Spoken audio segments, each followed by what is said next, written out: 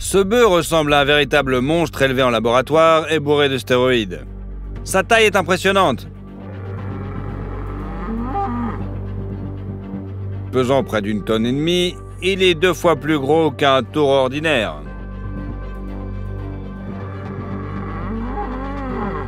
Chaque muscle est visible sous sa peau lisse.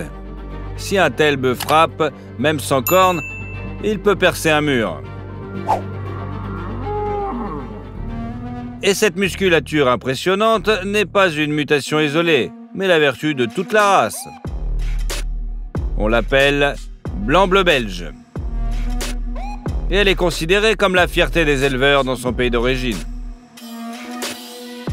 Vous imaginez tout de suite un savant fou tentant d'élever une armée de taureaux surpuissants.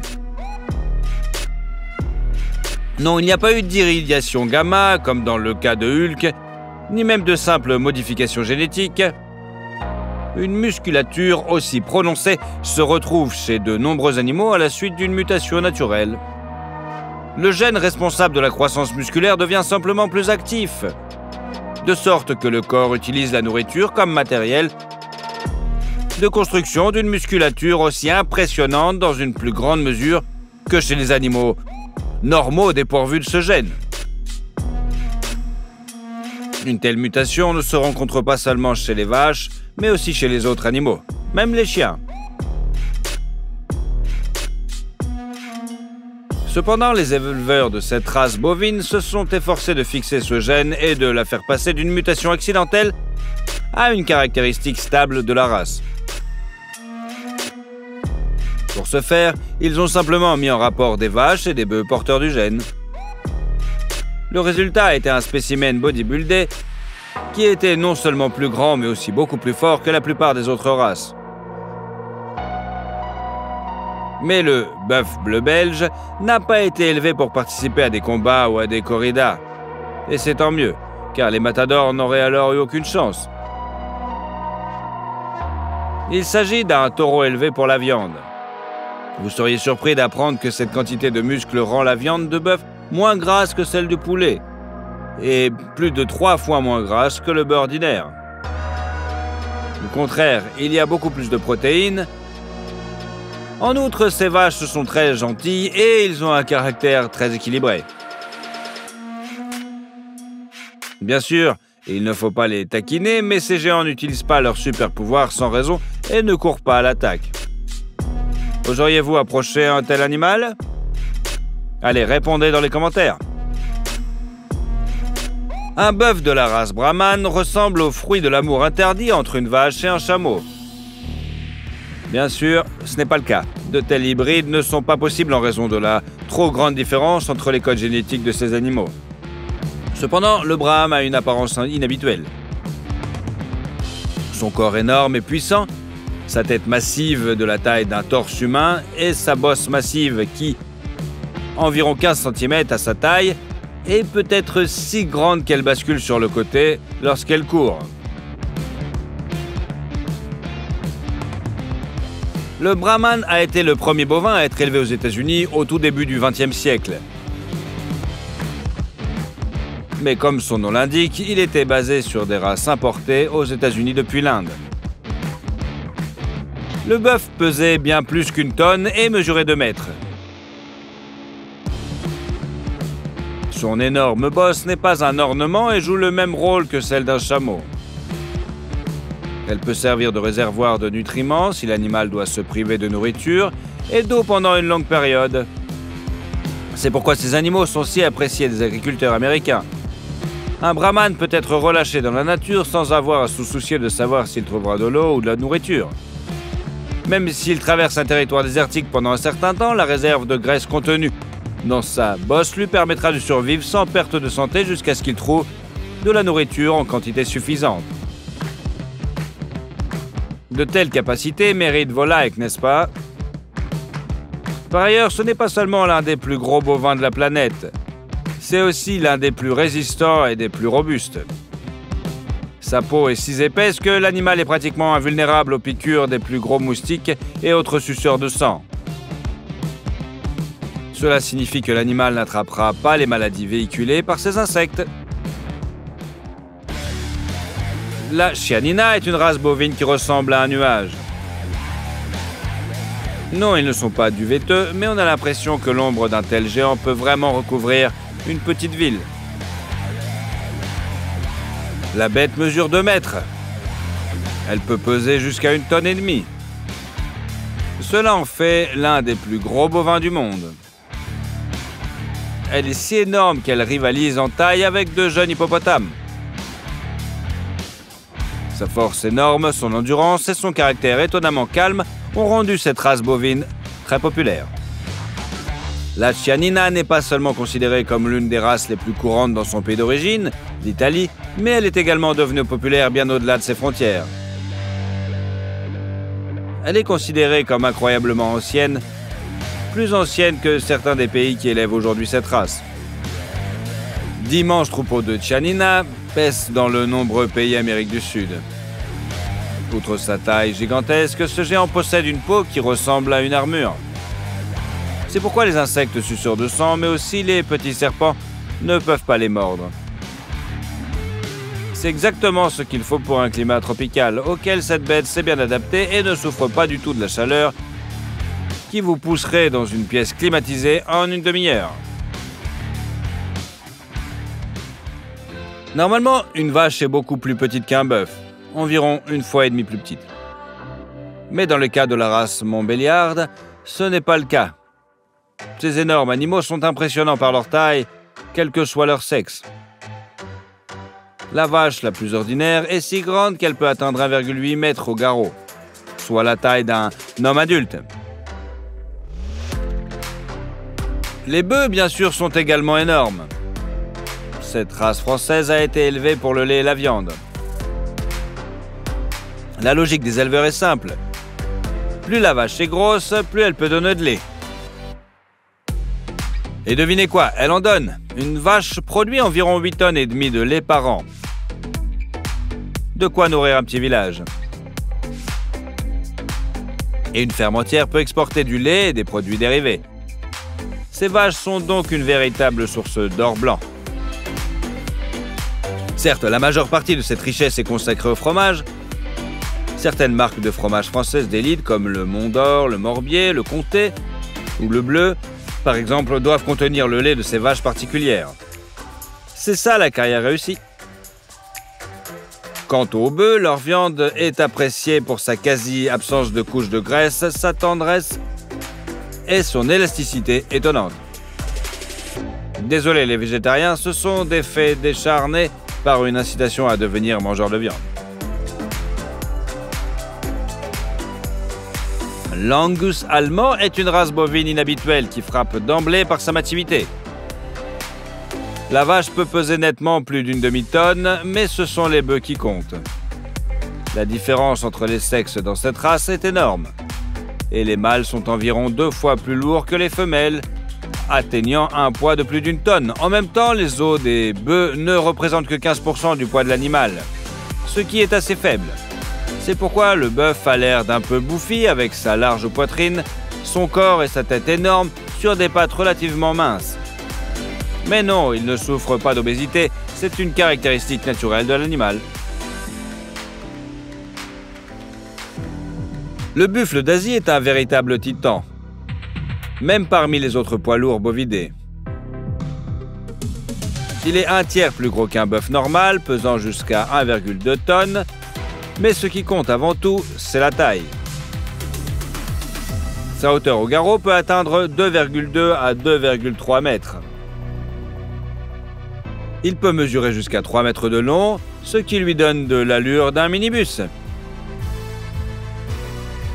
Mais ce qui est le plus impressionnant, ce sont ses cornes énormes et puissantes. Elles sont légèrement incurvées et pointent généralement vers l'arrière pour permettre à l'animal de se déplacer dans les broussailles denses. Et pour cause, les cornes des spécimens sauvages peuvent atteindre plus de 2 mètres. Si une arme aussi énorme était dirigée vers le haut et vers l'avant comme chez les cerfs, le buffle devrait enlever des nids d'oiseaux et des branches d'arbres cassées de ses cornes après une balade en forêt. Cet animal majestueux habitait autrefois une vaste région d'Asie.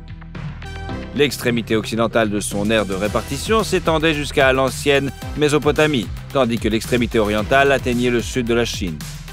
Le buffle habitait également de nombreuses îles comme les Philippines et la Malaisie. Malheureusement, en raison de la déforestation et de l'exploitation des terres sauvages à des fins agricoles, ces buffles ne se trouvent plus qu'en Inde, au Népal, au Bhoutan, au Laos, au Cambodge, en Thaïlande et en Ceylan. Ce n'est pas mal non plus, n'est-ce pas? Le problème, c'est que les troupeaux de buffles sauvages coexistent avec des bovins domestiques qui sont élevés en liberté dans bon nombre de ces pays. Ces derniers sont les descendants des buffles asiatiques qui ont été domestiqués il y a des milliers d'années, de sorte que les animaux sont libres de se croiser. C'est un problème car les buffles domestiques ont beaucoup changé au fil des siècles sous la tutelle de l'homme. Leurs cornes sont devenues presque deux fois plus courtes, leur ventre s'est affaissé et leur tempérament n'est plus le même. Vous vous souvenez de l'apparence de Thor dans Infinity War? Puis dans The Final? Eh bien, il y a peu près la même différence ici. Ce n'est pas très beau à voir, n'est-ce pas? Il faut avouer que cela motive pour bien s'occuper de sa propre forme physique. Les bébés issus de buffles sauvages et domestiques sont généralement plus faibles que ceux issus de buffles sauvages de race pure. C'est une mauvaise chose car il n'y a pratiquement pas d'adversaire digne de ce nom pour le buffle sauvage adulte dans la nature. Seuls le tigre et les plus grands crocodiles peuvent attaquer les buffles adultes. Le combat entre le tigre et le bufflon est l'un des duels les plus impressionnants que l'on puisse voir dans la nature. Les adversaires sont dignes l'un de l'autre. Le grand félin, le plus grand et le plus fort contre le buffle sauvage, le plus grand et le plus agressif de toute l'Asie. Le tigre s'approche furtivement du buffle pour se jeter sur sa proie avant qu'il ne puisse mettre ses cornes en action. Le prédateur tente d'atteindre la gorge du buffle. Un tigre peut casser le cou d'un seul coup au spécimen plus petit. Mais ce bufflon adulte est trop fort et la seule chance du tigre est d'atteindre les vaisseaux du cou avec ses dents ou de l'étrangler. Sauf que l'ongulé n'abandonne pas sans se battre et peut piétiner le tigre facilement. Et s'il remarque que le félin trop tôt a eu le temps d'amorcer un saut avec ses cornes, le tigre devra au mieux s'enfuir.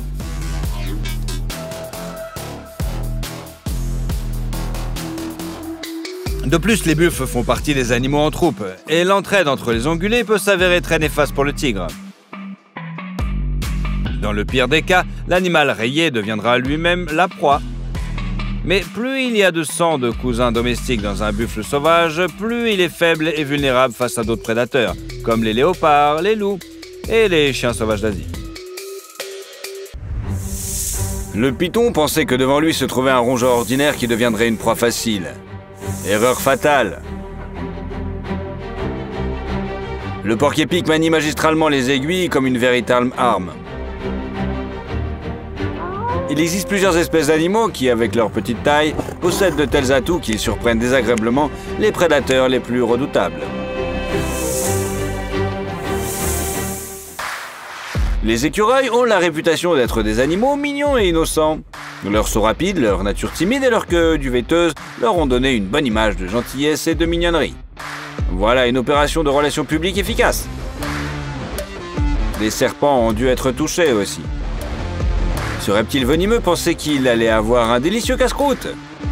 Une grossière erreur. L'écureuil n'essaie même pas de s'échapper. Au contraire, il passe lui-même à l'attaque. Un cobra peut abattre un cheval d'une seule morsure. Mais l'écureuil se révèle trop agile et super droit.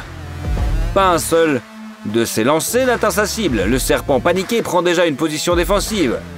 Ouvre son collier, mais l'écureuil n'en a que faire. Il attaque encore et encore, comme un éclair qui passe d'un côté à l'autre.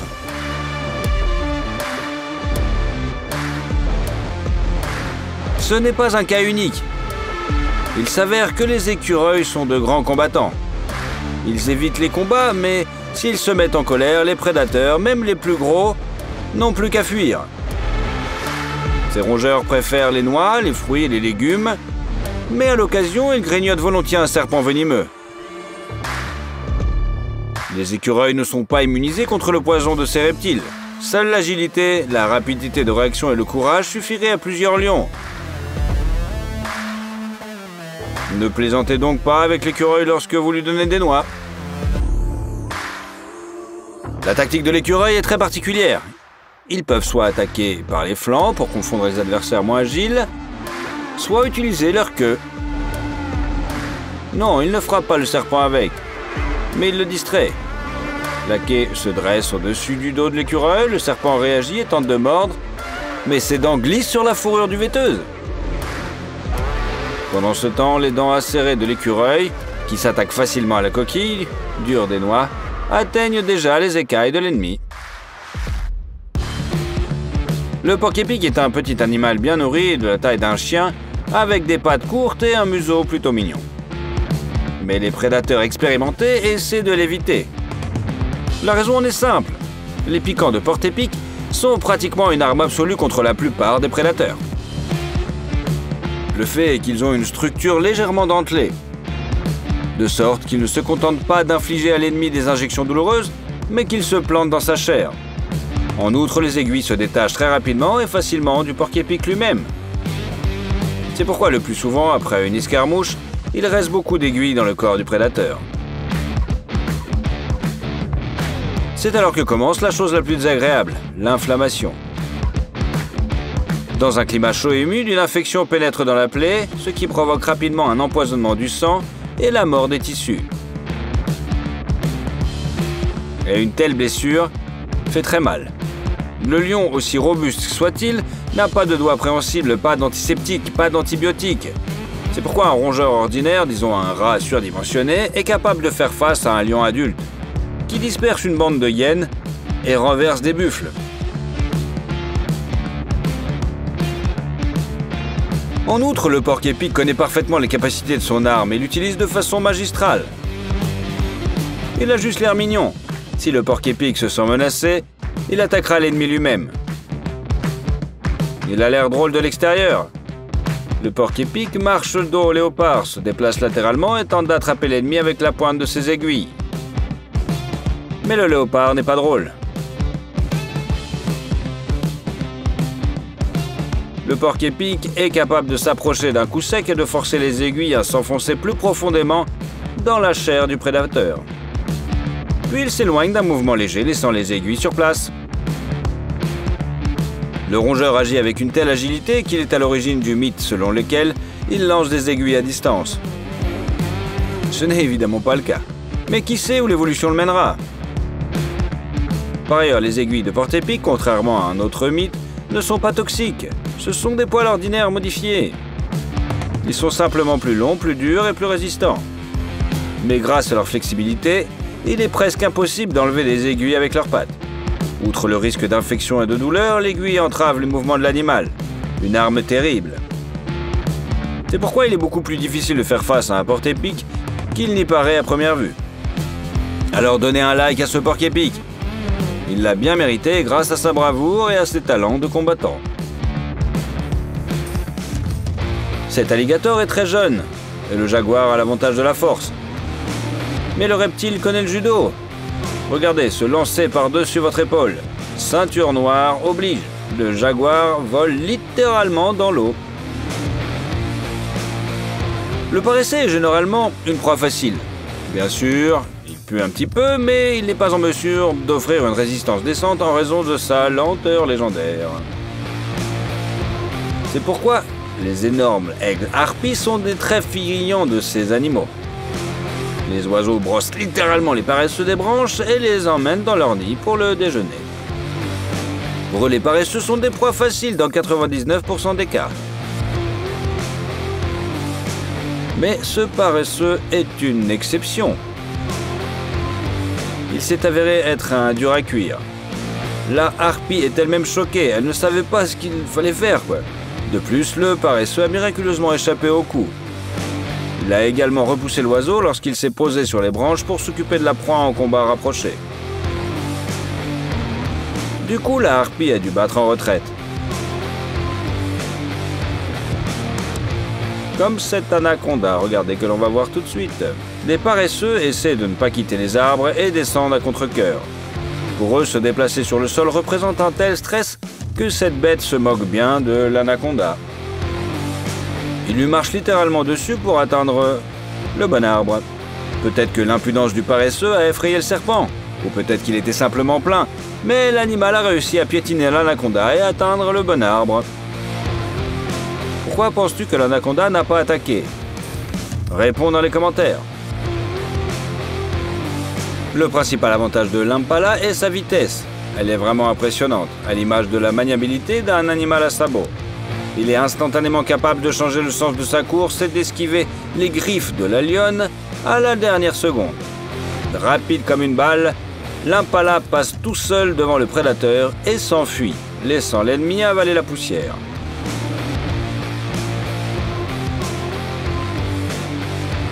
Cet ongulé n'a pas assez de force pour résister aux prédateurs comme les léopards et les hyènes. Par conséquent, si vous avez déjà été capturé, il est fort probable que l'impala devienne votre repas. Mais ici, la hyène a clairement sous-estimé son ennemi. Elle a attrapé l'impala et était prête à le prendre avec ses crocs. Mais elle a été distraite par le guépard. Soudain, l'impala se lève d'un bond et s'enfuit. Il s'avère qu'elle était vivante pendant tout ce temps. Elle a eu assez de sang-froid pour tromper la hyène et profiter de sa seule chance de salut. C'est ainsi que la ruse sauve parfois dans les cas où la force brute ne suffit pas. Et l'impala sait aussi utiliser la concurrence d'autrui pour son propre bien. Un groupe d'animaux se trouvant à un point d'eau a été effrayé par un léopard. Le prédateur rusé est apparu de manière si inattendue qu'il a surpris l'un des impalas, qui se trouvait à une profondeur de 1,50 m. Elle n'a pas eu le temps de s'échapper. Les crocs du jeune léopard se sont refermés sur sa gorge. Soudain, une hyène apparut plus massive qu'un très jeune chasseur tacheté. Elle a pu faire fuir un concurrent, mais l'impala était vivante et a sauté sur ses pieds au moment où les crocs de la hyène étaient le plus loin possible de son corps. Ainsi, il a pu s'échapper d'une situation apparemment sans issue. Il faut rendre hommage à l'endurance de l'impala. Elle n'a pas cherché à s'éloigner lorsque la hyène l'a regardée, et n'a sauté que lorsque son adversaire s'est déconcentré. En général, les zèbres ne se distinguent pas par leur besoin d'entraide. En cas d'attaque de prédateurs, chaque cheval rayé est pour lui-même. Mais il y a parfois des exceptions. Ce zèbre en fait partie. Soudain, elle est passée à l'attaque contre la lionne, sous les yeux du groupe de safari et a battu un autre prédateur. Pour la lionne, c'était un choc. Elle s'était manifestement trompée d'ongulé, qu'elle avait l'habitude de chasser. Le zèbre a réussi à repousser la lionne, après quoi il lui a asséné un coup de sabot si puissant sur le museau qu'on a pu l'entendre à quelques mètres de là. Bien que la victime manquée soit déjà assez grande, il s'agissait probablement d'un adolescent, et le zèbre protecteur était tout simplement sa maman. Cependant, il arrive qu'un zèbre puisse tenir tête à une lionne. Regardez l'entêtement et la puissance avec lequel l'ongulé se bat contre le prédateur et le secoue par le cou. Une force étonnante à laquelle la lionne ne s'attendait manifestement pas. Elle s'accroche fermement avec ses griffes recourbées, atteint la gorge de sa proie et n'abandonne pas jusqu'à la fin. Mais le zèbre se libère de son emprise et s'enfuit. Parfois, l'audace inattendue des petits animaux peut être charmante. Par exemple, c'est toi qui affronte des taureaux en colère. N'est-ce pas mignon? L'oiseau est tout simplement inébranlable. Il essaie de l'intimider, de la repousser, de la piétiner, mais c'est elle qui se lance dans la bataille, bien qu'elle soit 100 fois plus petite que l'ennemi. Même la supériorité numérique ne l'effraie pas. On dit des gens courageux qu'ils sont courageux comme un lion. Mais pour les plus intrépides, il faut dire courageux comme une oie. Il est difficile de qualifier un lynx d'animal sans défense. Il s'agit d'un prédateur cool qui s'attaque à des animaux à cornes assez grandes. Mais un lynx est un félin qui peut peser jusqu'à 30 kg. Le cougar en arrière-plan est un géant. Certains individus peuvent être à la fois plus grands et plusieurs fois plus forts. Ils ont également un caractère bien trempé. Agressifs, les cougars se battent même à l'égal des jaguars. Les troisièmes panthères de la planète après les lions et les tigres. Et les pumas chassent volontiers les petits ours car ils n'aiment pas la compétition. Ce puma pensait aussi qu'il y avait un concurrent en face d'elle. Mais un concurrent faible. Le lynx est pour elle un rival dont il était facile de se débarrasser, mais cet individu s'est avéré difficile. Elle a gardé son calme et son sang-froid et a réussi à donner au puma une rebuffade digne de ce nom. Ce sont des images très rares d'un affrontement entre des prédateurs aussi importants. Dans des conditions normales, les lynx évitent les cougars, mais il n'a pas été possible d'échapper à la rencontre. Le puma agit de manière très agressive, grogne et tente d'intimider son adversaire. Prêtez attention au regard du lynx. Son sang-froid fait un peu flipper quand même. Comment tu vas te comporter si tu étais face à un puma en colère? Le lynx ne bronche pas. Ses moindres mouvements sont clairs, celui qui lui permet de réagir de façon optimale à la menace, d'économiser ses forces et d'asséner des coups puissants et précis au seul moment où ils peuvent atteindre la cible. Le puma doit battre en retraite. Contre toute attente, le lynx s'est avéré être un dur à cuire. Ces tigres pouvaient s'occuper d'un jeune éléphant. Les chats prédateurs pensaient donc qu'un canard n'était qu'un simple encas, comme un paquet de chips. Mais ils ne savaient pas à quel point ce canard à plumes avait du sang-froid et était rusé. Lors de chaque attaque, le canard plongeait simplement sous la surface de l'eau, trouble. Et c'est tout. Pour les chats, elle a tout simplement disparu. S'il avait plongé aussi, il aurait sans doute pu l'attraper, même à l'aveuglette. Mais la disparition de la canne a tellement choqué les chats qu'ils se sont figés sur place.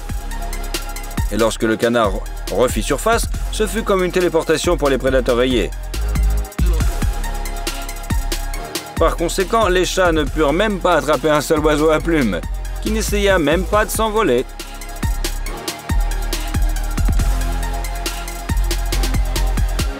Lorsque l'on voit cet adorable animal au visage allongé de furet, aux oreilles rondes et aux grosses pattes mignonnes, courir dans les congères, mais si un grand prédateur tente d'attaquer ce petit mignon, il comprendra immédiatement qu'il s'est trompé d'adversaire. Ce loup a regretté de s'être fait attraper par un tel gamin. On dirait que le prédateur gris ne rigole pas. Vous n'êtes pas d'accord?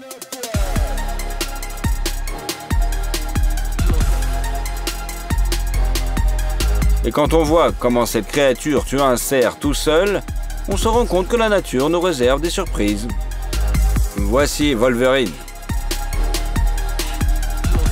Et ce n'est pas pour rien le meilleur des super-héros, le plus cool, porte son nom. Un animal de la taille d'un épagnol qui effraie les loups expérimentés par sa simple présence. Pourquoi? Parce que si un loup ou même un puma a l'audace d'attaquer notre héros, cela peut se terminer tragiquement pour un prédateur plus grand et ne devenir rien de plus qu'un échauffement pour Wolverine lui-même.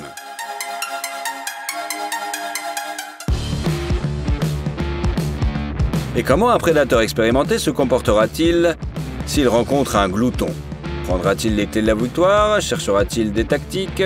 Comment vaincre l'ennemi? Non, c'est un loup expérimenté qui a pris la décision la plus raisonnable fait semblant de ne pas voir le carcajou et essaie de ne pas le provoquer. Regardez comme le loup détourne le regard d'un concurrent qui se promène et ne montre aucun intérêt pour lui. Les loups sont des animaux très intelligents. Carcajou pèse au moins 25 kilos, sont trois fois moins qu'un loup. Mais regardez comment cette machine de combat peut affronter deux adversaires en même temps. Ces loups ont attaqué directement, mais elle a immédiatement contre-attaqué et s'est mise à chasser ses adversaires comme des petits chiots. La férocité de ce carcajou a tout simplement choqué les deux loups qui attendaient que la victime commence à s'enfuir. Apparemment, ils n'ont jamais été confrontés à un tel adversaire. Les loups sont considérés comme l'un des prédateurs les plus efficaces de la planète.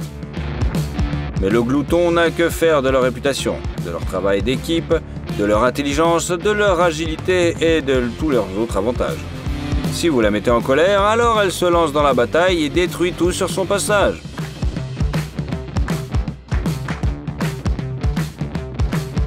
Le secret de la réussite des Wolverines est une combinaison de rage incroyable, de bravoure et de capacité physique extraordinaire. Wolverine se bat à la fois avec ses mâchoires et ses pattes. Ses griffes, bien qu'elles ne se rétractent pas comme celles des chats, sont très acérées et très puissantes. Cela lui permet d'agripper sa victime presque plus fermement qu'un bulldog. Et ce n'est pas tant la force de la morsure que l'incroyable entêtement de l'animal. Si le glouton serre les mâchoires, seule une rafale de mitraillette peut lui faire lâcher sa victime. Et c'est l'option qu'a choisi le premier glouton pour s'occuper du tireur, puis retourner à sa proie. Vous connaissez la réputation de Wolverine. Nous connaissons la réputation de Carcajou. Même de nombreux ours la connaissent. Mais le comportement de ce bébé est au contraire une grande surprise pour tout prédateur. Il s'agit d'un blaireau américain ordinaire. Il est beaucoup moins célèbre que le glouton ou le blaireau domestique, bien qu'ils soient tous parents. Comprenez-vous ce que cela signifie? Si par manque d'expérience un ours se bat avec un blaireau, il recevra la même rebuffade que dans le cas d'un blaireau domestique. Pour sa taille, le blaireau est très fort, mais il reste inférieur aux grands prédateurs. Comment fait-il alors pour les tenir à distance? C'est que la peau du blaireau est incroyablement résistante et que l'animal lui-même a une grande vitalité. Un seuil de douleur élevé, une fourrure épaisse et de l'agilité. Même les chasseurs expérimentés préfèrent ne pas se frotter à un blaireau. Selon certaines légendes, la peau de cette bête serait même plus résistante que celle du sanglier. Pourquoi alors entendons-nous si peu parler de la rage des blaireaux? Le fait est qu'ils n'aiment pas les problèmes inutiles. Le blaireau et le gouton se promènent avec leurs biens et se disputent constamment. Le blaireau, au contraire, aime mener une vie tranquille dans la norme. Il préfère les baies, les noix, les racines et les légumes. S'il chasse, c'est généralement pour chasser des insectes, des reptiles et des petits oiseaux. Le blaireau aime particulièrement les rongeurs. C'est pourquoi il est bien traité dans la culture, car le blaireau détruit les nuisibles. D'ailleurs, il n'est pas irritable, pas particulièrement agressif et n'essaie pas de frapper l'ours dès qu'il le remarque. Il a aussi une jolie petite gueule. Vous trouvez pas? Les blaireaux américains ont de longs poils combinés à un corps bas et à des pattes courtes. Les font ressembler à des chiens décoratifs. Les blaireaux européens sont particulièrement mignons en raison de leur museau allongé et de leurs rayures caractéristiques. Il semble donc qu'en face de vous se trouve un homme ordinaire et tranquille qui se cache de la menace et ne compte que sur la protection de son terrier natal. Quelle n'est pas la surprise de cet ours lorsqu'il s'avère que le blaireau est encore plus fougueux que ses lointains parents? Après tout, si ce gamin est provoqué, il sera vexé et montrera qu'il vaut mieux ne pas croiser de personnes modestes. La plupart des prédateurs évitent les combats à armes égales pour une raison simple. Ils ont besoin d'une bonne santé pour chasser. Si le loup vient à bout de son ennemi, mais reste avec une petite patte blessée, il lui sera plus difficile de rattraper sa proie. L'issue peut en être fatale. Le blaireau ne s'en préoccupe pas non plus. Il va jusqu'au bout, ce qui ne fait que terrifier ses concurrents. Le blaireau peut même attaquer un puma si elle tente de l'attraper. Mais le cougar est une bête incroyablement agressive et cruelle. Mais elle recule comme un chaton effrayeux lorsqu'un blaireau menace de lui ronger les pattes. Avec ses mâchoires allongées, même très puissantes, il peut le faire. Il s'attaque à une bête dix fois plus grosse avec obstination et brutalité. Encore et encore. En même temps, le blaireau connaît les points douloureux de l'ennemi et essaie de les toucher. Le renard pensait que le blaireau était un gros homme sans défense, mais il s'est rendu compte trop tard qu'il s'était trompé de cible. Le blaireau mord à la base de la queue à un endroit très douloureux. Il se secoue d'un côté à l'autre, causant un maximum de dégâts, et grâce à la poigne de puissantes pattes, le renard n'a aucune chance de s'en sortir jusqu'à ce que le blaireau veuille le lâcher lui-même. Et les coups de l'ennemi, il semble les ignorer. Et même si le prédateur recule, le blaireau le poursuivra lui-même, de sorte que l'ennemi se souviendra à jamais de cette leçon. Et quelle victoire inattendue de la victime sur le prédateur vous a le plus marqué? Répondez dans les commentaires et n'oubliez pas de vous abonner.